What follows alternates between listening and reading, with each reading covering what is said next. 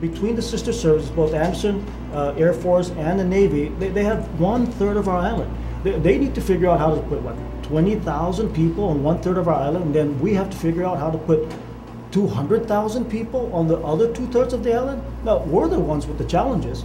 And I'll tell you another thing, as Jim has stated, they our brothers and sisters in the Northern Marianas. They're inviting them, please come use some of our open lands and, and, and use that for some of the ranges. And so I stand with all those that are concerned about uh, some of our, our special uh, places, such as Pagat, and that uh, together uh, we think that the military should look elsewhere.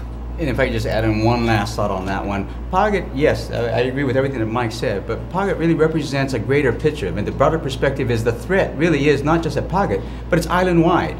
And that's what we got to be concerned with. Is the, not, it's not, the question is not what are we going to do about Pagat. The question is, is what are we going to do about the preservation of our culture, the preservation of our artifacts, the preservation of our access to, the places that we need to go as a people because this is our island. So it's a bigger picture out there that we need to address. Pagat is just a representative of that bigger picture.